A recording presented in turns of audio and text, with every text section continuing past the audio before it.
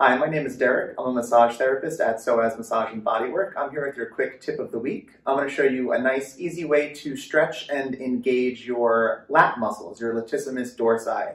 Very large muscle in the back, takes up a lot of space connecting your sacrum and your lower spine up to your upper arm, your humerus.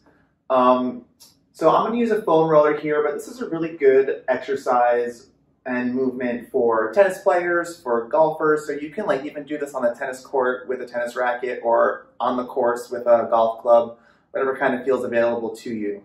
Um, so to start, I'm going to find that quadruped position and I'm going to grab this um, foam roller a little bit lower than the top. Coming up to the top might be a little bit too high for me. So I'm to keep myself nice and level. And the first thing I'm going to do is just slide my scapula forward and backward.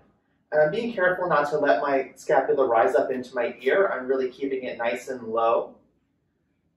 And after doing that about three to five times, in that reached forward position, I'm going to add some lateral flexion. Lean that foam roller over to the side and get that lateral flexion in my whole spine and get a really nice stretch through my whole flanks and then come back to a centered position and reset that shoulder blade before I come out of that stretch.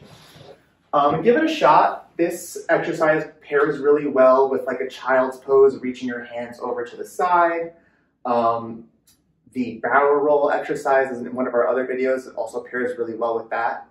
Um, give it a shot and see if this opens up some flexibility in your flanks for you and let us know how it goes.